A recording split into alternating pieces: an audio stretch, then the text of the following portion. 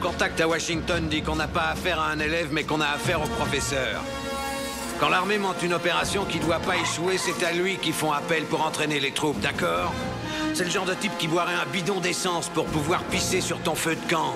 Ce mec-là, tu le largues au pôle Nord, sur la banquise avec un slip de bain pour tout vêtement, sans une brosse à dents, et demain après-midi, tu le vois débarquer au bord de ta piscine avec un sourire jusqu'aux oreilles et les poches bourrées de pesos. Ce type-là est un professionnel. Kick Peace oui, c'est moi Mayol, comme chaque semaine, la critique sauvage. Et pourquoi je t'ai accueilli avec euh, ce fameux Kick Peace? C'est pas parce que ça veut dire santé en finlandais qu'aujourd'hui on va parler d'un film finlandais de l'autre côté de l'espoir.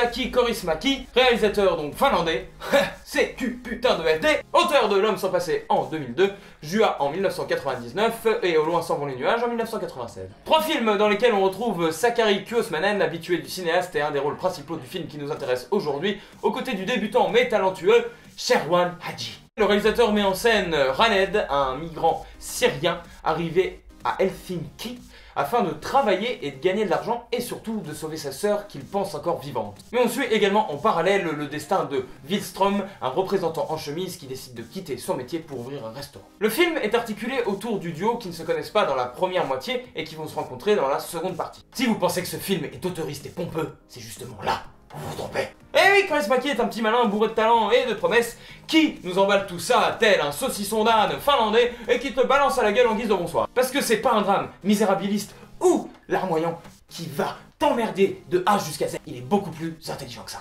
Parce que Coris Maki, il est pas bien connu en France. Et nous, justement, on le réhabilite. Forcément, de prime abord, la froideur de la mise en scène peut être liée à l'atmosphère générale du pays et des personnages. Et ça peut rebuter. Et même s'il y a certaines baisses de rythme relatives dans le film, c'est tout ce qu'on peut reprocher au dernier Coris Maki, car c'est un petit bijou. Un petit bijou d'humanité. Un petit bijou de réalisme. Et surtout, un petit bijou toutou. Tout simplement parce que ça a compris la notion de cinéma que j'essaie de défendre depuis plus de 10 ans. Rien ne sert de blablater. Les images en disent autant que les mots. Quand nos réalisateurs français et même étrangers auront compris ça, on aura fait un grand pas. Lui, il est finlandais, complètement méconnu du grand public. Et le mec, il te livre un truc sur un sujet de société, d'actualité dont on entend parler chaque semaine, les migrants, le mec le transcende, mais totalement Tout d'abord en amenant de l'humour du quotidien, c'est pas quelque chose de forcé ou euh, pour faire du gag pour du gag, non. Oui, ils sont froids, oui, ils sont rugueux.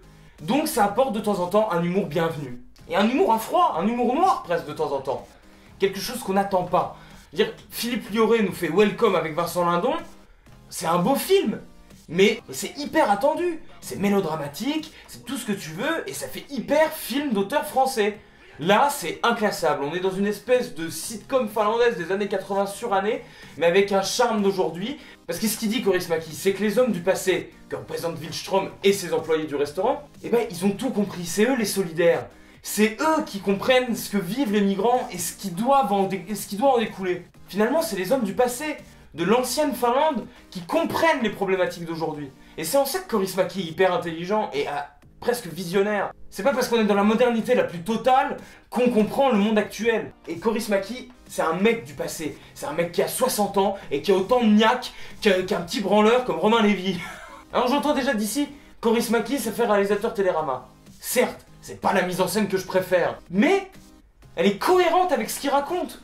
Donc, point barre le mec est un génie absolu qui fait du cinéma humain, tolérant et qui doit être vu de tous. Ok, les acteurs sont peut-être monolithiques, mais ils sont forts, ils ont quelque chose dans l'œil, des vraies gueules. Et le petit jeune là, je peux te dire qu'il envoie le bousin. Alors je vais citer un exemple parmi tant d'autres parce que le film est d'une richesse absolue, c'est la scène du contrôle des policiers dans le restaurant. À elle seule, elle résume très très bien le film. Le mec installe une tension, un suspense, sans musique, juste en se braquant sur ses personnages, en faisant des gros plans, en étant cohérent dans sa mise en scène, et c'est tout ce qu'on demande dans le cinéma. Il nous fait pas pleurer spécialement, il est juste fort dans l'émotion. Ça nous noue la gorge, et c'est pas larmoyant. C'est beaucoup plus intelligent et percutant que tout le cinéma actuel. Voilà. Ouais. Ouais, quatrième épisode de la critique sauvage, c'est terminé pour aujourd'hui, ma gueule. On se retrouve la semaine prochaine. Allez au cinéma et vive la France. Qui sont-ils pour me faire des procès Qui sont-ils? Est-ce qu'ils étaient à ma place en peine Ils nous jugent, sa faute, ils parlent